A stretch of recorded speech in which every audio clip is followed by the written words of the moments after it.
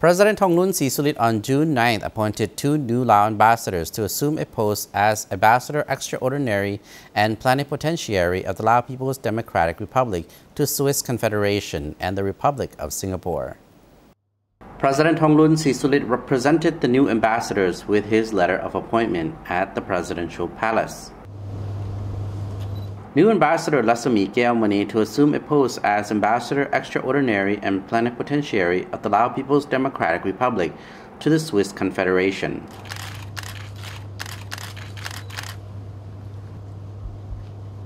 New Ambassador Sankeo Puong Padit to assume a post as Ambassador of the Lao People's Democratic Republic to the Republic of Singapore.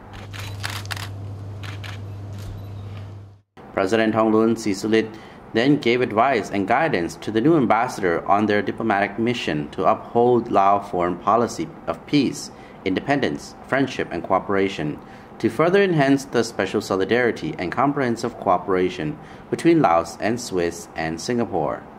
Ambassador Lasami Keamani and Ambassador Sankeo Puong Padit thanked the President for the new appointment and reaffirmed that he would do their best to benefit the alliance.